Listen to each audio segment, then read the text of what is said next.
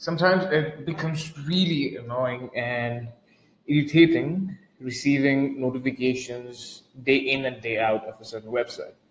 So instead of losing a user, what we can do is we can give them an option with which they can choose to opt out of receiving the notifications.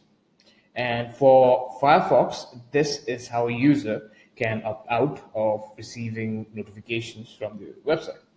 What the user needs to do is go to the website, click on the log button,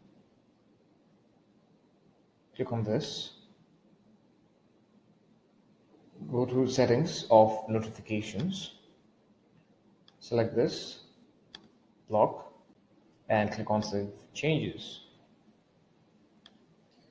Now, after this is done, once refresh the website. Now with this, the user will not be receiving any future notifications or campaigns sent by the website.